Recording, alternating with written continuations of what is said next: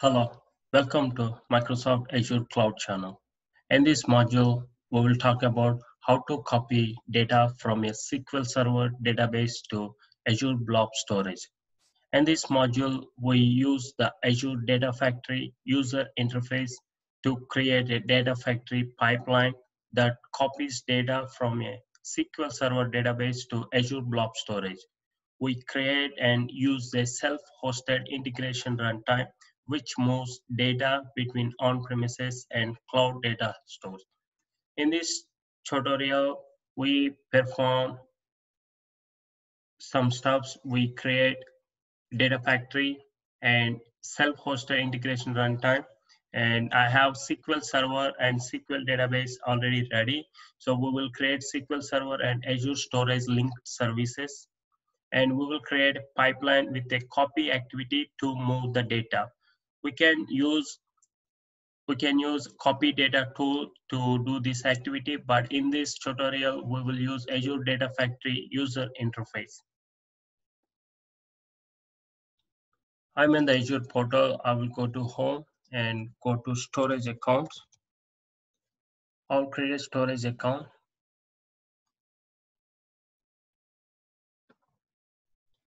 I'll create storage account under failover resource group and we need to give a storage account name. For data from SQL DB and location East US performance standard storage V2 and I will choose locally redundant storage let's go to networking enable connectivity method public endpoint and data protection let's uncheck all these and go to advanced and keep the defaults and go to review and deploy the storage account. And I will go to home and go to search and type data factory.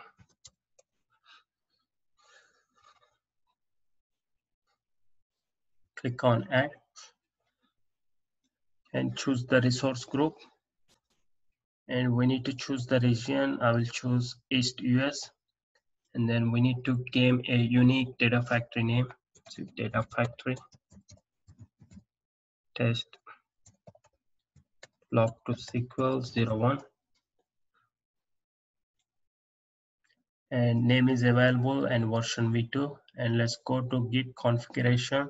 Let's check this. Configure git later and go to review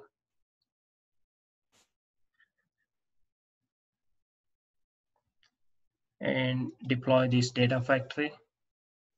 And let's go to resource group and see if our storage account is ready. Yes, storage account is ready. I will create a container. I will say container one.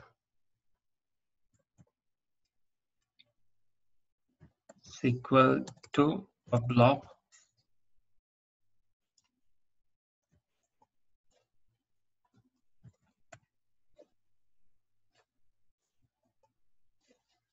and public access level and create this container. Now I have container available in storage account. And let's go to resource group and see if the data factory is available and data factory is available. Let's click on data factory. And before we go to data factory, I will go to SQL Server and see what data we are copying from SQL database to Azure Blob Storage. I open SSMS and I'll go to databases and then go to database one and click on customer. Let's select thousand rows. So we have data available and I will I will copy this customer data to Azure Blob Storage. I will check how many rows we have in this table.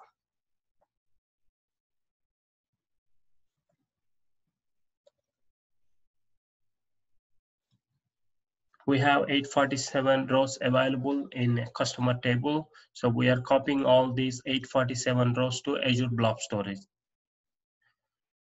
I am back in the portal. So I will go to Data Factory and click on Author and Monitor.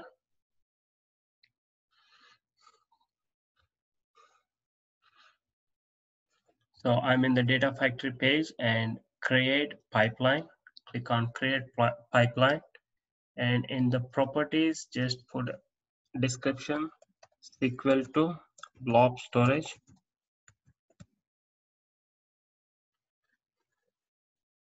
and under the pipeline one move and transform and we see copy data and data flow let's drag this copy data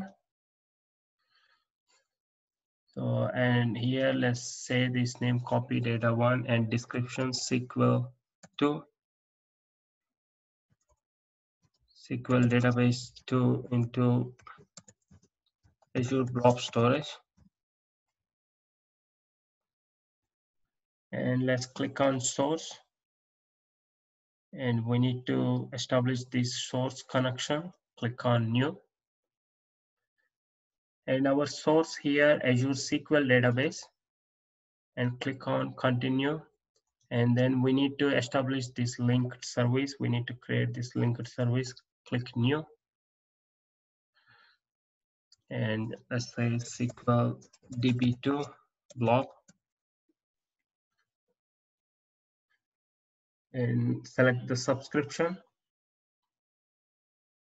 And server name test SQL server 1 and database name database 1 let's enter the credentials SQL server credentials.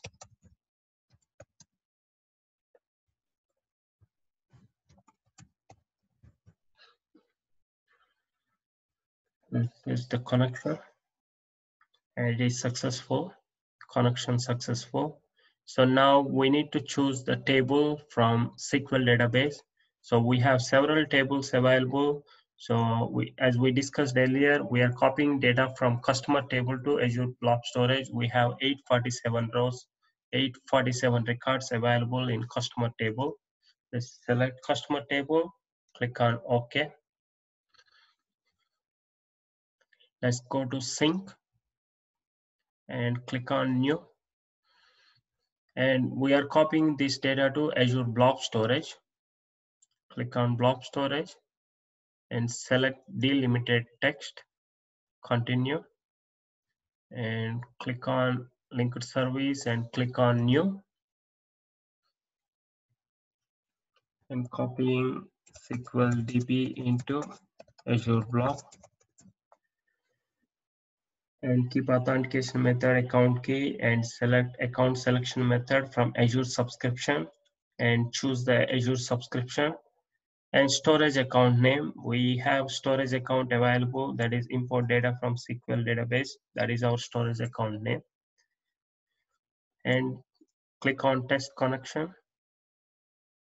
Connection successful. Let's create it.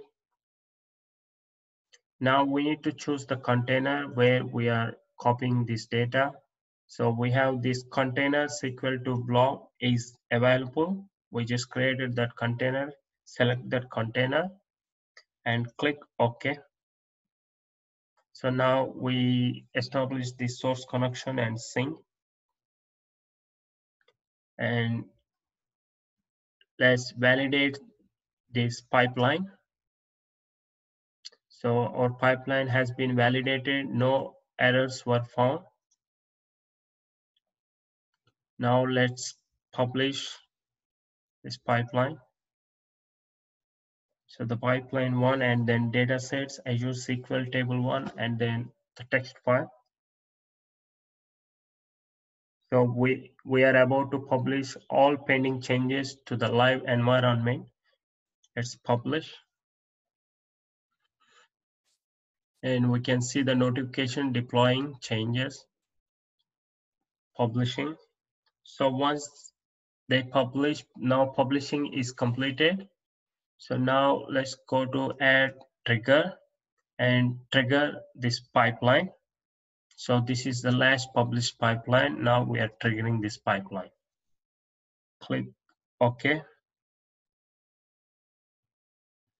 So now our pipeline is running. Now how to monitor this pipeline? So now we have question how to monitor this pipeline. We don't see it here. Now go to go on your left. We see general data factory view, author, and monitor and manage. So click on monitor. So here we can see our pipeline is completed. Let's click on this pipeline. So here we can see that our pipeline status succeeded and click on the details. Here we can see that rows read 847 and files written one and rows written in the destination in the target 847 and the copy duration is six seconds. This is fast. This is pretty fast. So now let's go to storage account and see if this is if the data is available in the blob storage. So i will back into storage account and go to containers and click on the container. And here we should see 847 records that we have data. Click on this file and we can download and open this file. So we see the data available in the blob storage. So we have all data available in this blob storage.